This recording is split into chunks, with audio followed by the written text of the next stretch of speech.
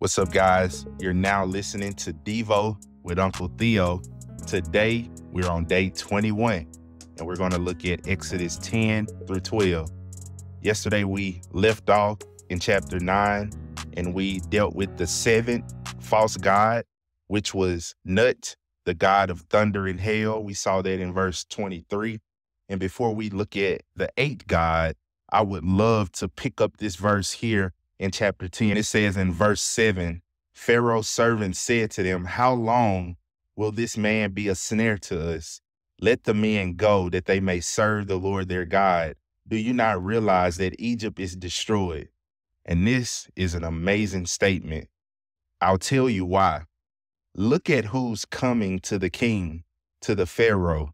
His own servants are coming to him, telling him, Look, you need to relent you need to let these people go.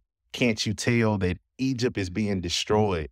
And you have to think about the danger in this the danger of coming to a king, telling him what to do. You're putting your life on the line, but they're under so much duress and they're, and they're in such a catastrophe that they're willing to risk their lives in order to go to Pharaoh. They, they would rather die by the hand of Pharaoh than the hand of Yahweh. Yahweh has spoken and Yahweh is proving that he's the one true God. Even Pharaoh's own servants are turning on him. You have to see that in the text. Let's walk into seeing the eighth God, which is the God of locusts, and that's Serapia. That's spelled S E R A P I A. That's the Egyptian deity protector from locusts. We'll see that in verse 14. The locusts came up over all the land of Egypt and settled in all the territory of Egypt. They were very numerous. There had never been so many locusts, nor would there ever be so many again, for they covered the surface of the whole land, so that the land was darkened, and they ate every plant of the land and all the fruit of the trees that the hail had left. And you see that note there? This is total destruction. If the hail didn't get it, these locusts got it. In agriculture, you have seed time and you have harvest and you have storehouses. So if the hail didn't kill it, that which was growing, the locusts would have took out everything that was left outside and even that which was in the storehouse. This is God utterly devastating Egypt. Then we move to our ninth God, which is found in verse 22 it mm-hmm. says, So Moses stretched out his hand toward the sky, and there was thick darkness in all the land of Egypt for three days. They did not see one another, nor did anyone rise from his place for three days. But all the sons of Israel had light in their dwellings. And so this is our ninth God. We're moving up the ranks, and this is one of the most powerful gods. Under Pharaoh, this would be the god Ra, an Egyptian sun god. So this darkness in Egypt shows you that Ra has no power. Yahweh controls the light and the darkness, and he cannot stand against Yahweh. He cannot do his own duty. It's like when people joke on field goal kickers and he misses a field goal in a big Super Bowl. What do people usually say? We have to fire him because he only had one job. He had one job and he couldn't get it right. Well, Ra only has one job. He's the sun god and he can't get it right. This shows us that Yahweh is the true king. And it's amazing how the darkness cuts off at Goshen, where the Israelites are. It says that they had light in their dwellings. Then we get to the last plague. This is in chapter 11, verse 1. Now the Lord said to Moses, One more plague I will bring on Pharaoh and on Egypt. After that, he will let you go from here. Moses said, Thus says the Lord about midnight, I am going out into the midst of Egypt, and all the firstborn, remember our intro, this is the firstborn, in the land of Egypt will die. From the firstborn of the Pharaoh who sits on the throne, even to the firstborn of the slave girl who is behind the millstone, all the firstborn of the cattle as well, Moreover, there shall be a great cry in all the land of Egypt, such as there has not been before, and such as shall never be again. But against any of the sons of Israel, a dog will not even bark, whether against man or beast, that you may understand how the Lord makes a distinction between Egypt and Israel. And there you have it, folks. Our God says, Look, I have always made a distinction between my people. And look how serious this gets. There will be crime in the land of Egypt, but against the sons of Israel, not even a dog will be barking. It'll be utter silence. Why? Because they're in awe. They're in awe of worship to see how God is moving and how he's devastating the world's first superpower. You cannot do anything but worship. The same with Noah. Noah gets off the ark and there is nothing but death around him. And he simply has to sacrifice. Why? Because Noah looks up and said, Wow, that could have been me. That could have been me. But God, that's always the answer. That is one of the most beautiful conjunctions in all of Scripture. But God. And we walk into chapter 12, and the Lord says to Moses and Aaron that this month shall begin the months for you. This will be the first month of the year to you. Speak to all of the congregation of Israel, saying, On the 10th month, they are to each take a lamb. Look at the theology God is starting to set up now. And this is beautiful because remember, Israel was exempt after plague three. Now God is about to bring them in. Why? Because he's about to teach them theology and he's about to start preparing for the festivals and the feasts that we'll have to learn about, the sacrificial system. He's about to teach Israel theology. And this is what he teaches them. This is one of the first festivals called Passover. Verse 4 Now, if the household is too small for a lamb, then he and his neighbor nearest to his house are to take one according to the number of persons in them, according to what each man should eat. You are to divide the lamb. Your mm-hmm. lamb shall be unblemished, a male from the sheep or from the goat, and you keep him. And not only that, they're to ce- celebrate this. Look at verse 8.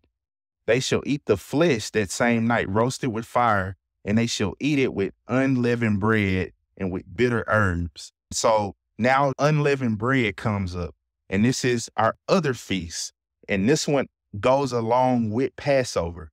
And we'll talk about this more as it develops. But the biggest distinction I want to make here today is that chapters 11 and 12 teaches Israel how to observe Passover right now in this time when God is about to move and the destroyer is about to destroy all of the firstborns of Egypt in that moment. But then the rest of chapter 12 and 13 t- tells Israel how to celebrate Passover for all time. So these chapters can confuse you because you feel like you're hearing the same thing over and over. But if you make this distinction, it'll help you get out of these chapters well. So remember, 11 and 12, this is what you do right now. And then the rest of 12 and 13 is how they will celebrate Passover of all time. And you may say, Theo, I know you've been talking about all of these guys, you've been helpful, you've spelled them for us. But I think you're pulling our leg that God is actually going to war with gods. And I say, great, I have a verse for you. We we gotta go to the scriptures and I'll show you this entire time that God has been declaring war on these gods. You saw in the scripture that he wanted to teach Israel that he was the Lord their God. But let's grab this. Look at chapter 12, verse 12. For I will go through the land of Egypt on that night, and I will strike down all the firstborn in the land of Egypt, both man and beast, and against who? Look at it closely. Against all the gods of Egypt, I will execute judgment. I am the Lord. There you have it. It's beautiful. God has declared war. Pharaoh gave those fighting words. Who is Yahweh? I don't know Yahweh. And God said, Game on. I'll teach you who I am. As uh, some people say, you're going to learn today. And God has taught them. And now we get the scene for the Passover. And it's interesting here because God teaches them to slay the Passover lamb. This is in verse 21. And you should take a bunch of hyssop and dip it in blood, which is in the basin, and apply some of the blood that is in the basin to the lintel and the two doorposts. And none of you shall go outside the door of his house until morning. But look at what happens here. It says, For the Lord will pass through and smite the Egyptians. So the Lord does this, which is why I said that the Lord is a warrior. We cannot forget that God is not just a loving God, but he's a warrior as well. It says that the Lord will pass over the door and will not allow the destroyer to come into your house and smite you. And you shall observe this event and the ordinance for you and your children forever. The destroyer here is most likely the angel of the Lord. So he's coming to destroy, and the blood being applied is what causes him to pass over. And he says in verse 26 And when your children say to you, What does this rite mean? You shall say, This is a Passover sacrifice. You see it? God is bringing Israel back in to teach them. We have to talk about this. So now Israel's celebration are about to become pedagogical. And that's just a big fancy word for teaching. They're about to start teaching things. And this is what we do with Christmas and Easter.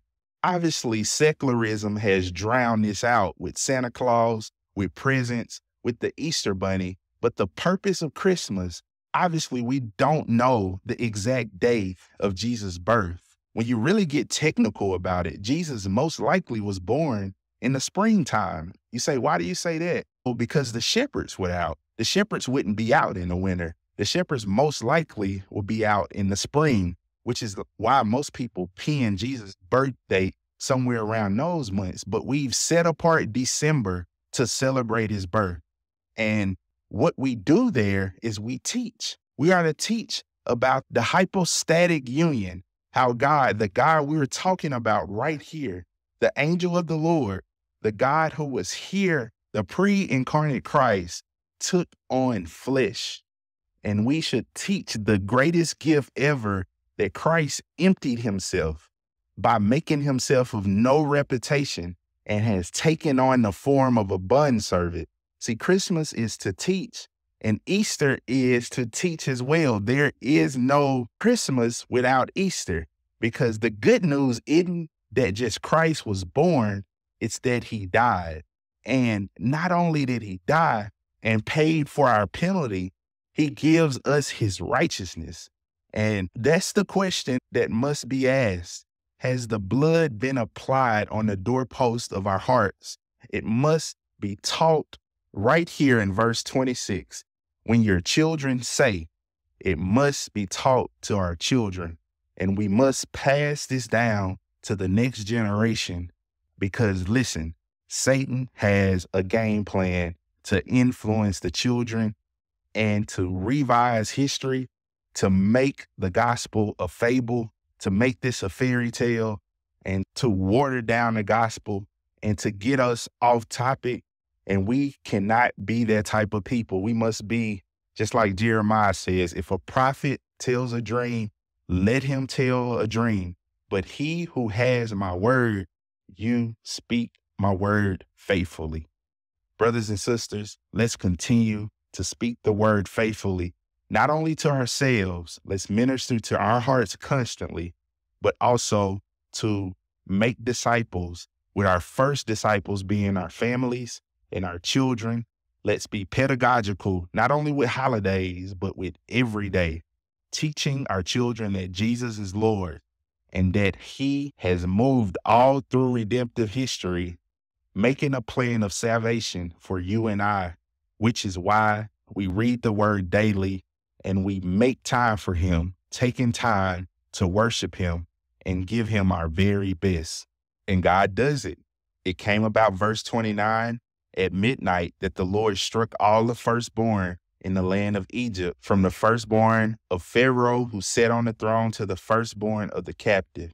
And there was a great cry in Egypt, and there was no home where there was not someone dead.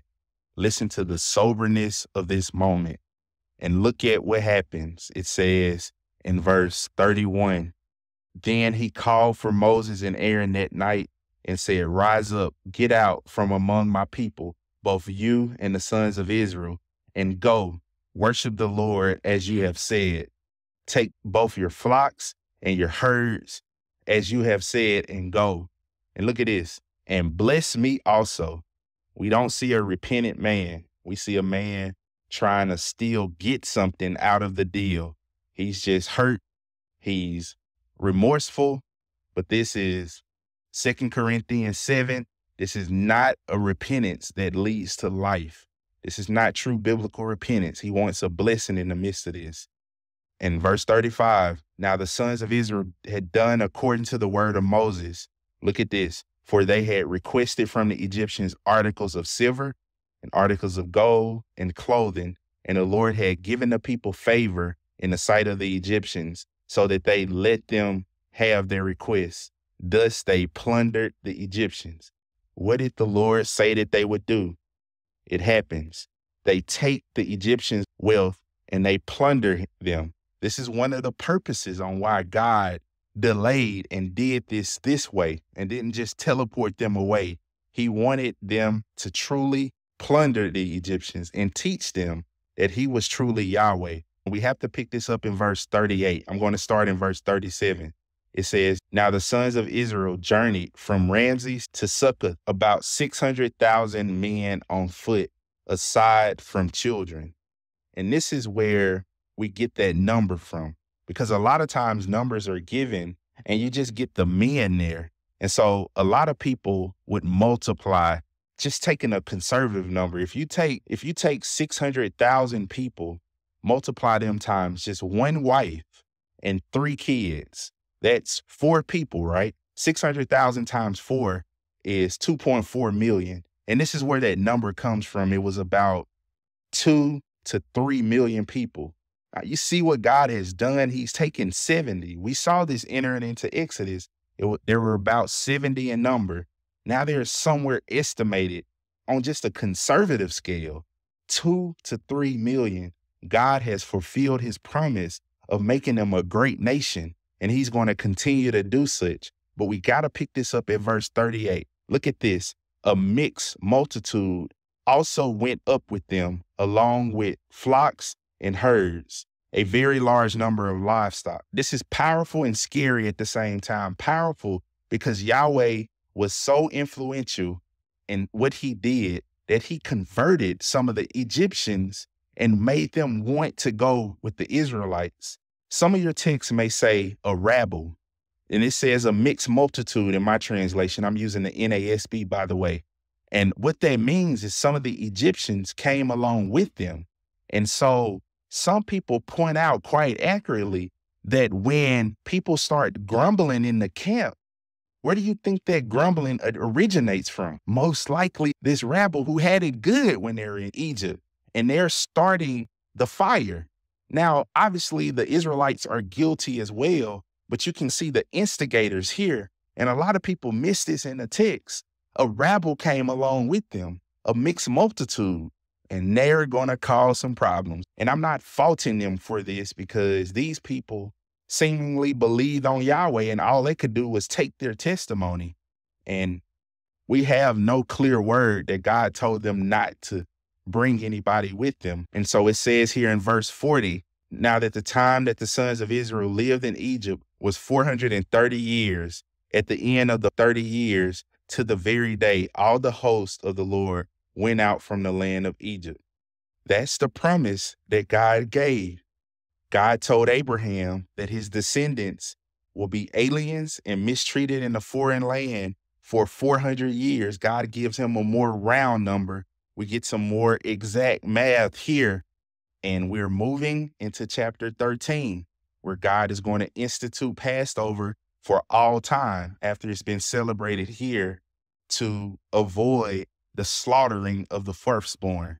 So God has spared the firstborn of Abraham, and God has spared the firstborn of all of the Israelites to teach them theology, because there will come a day where God will look at his firstborn and he will not spare him. he would pour his wrath on him, his full unmixed wrath without measure, and his son, his only begotten son, whom he loves, will drink that wrath and will not leave one drop. And he drank all that wrath to save brothers and sisters like you and me. And now we have the Holy Spirit. We're indwelt by the Holy Spirit. We have Christ's righteousness, and we're so illuminated. We can look at a text like this and it be precious to us. There's some people today that would look at this text and laugh at us for seeing rich treasure in the Word of God. And that's the difference. God has truly transformed us, and we're constantly on this journey to renew our mind. We're committed to Christ, and we're in this together. So let's continue to put our hand to the plow and not look back, lest we become like Lot's wife. Remember Jesus' words, some of the three most powerful words in the Bible. Remember Lot's yeah. wife. Stay tuned and we'll pick up tomorrow, chapters 13 through 15.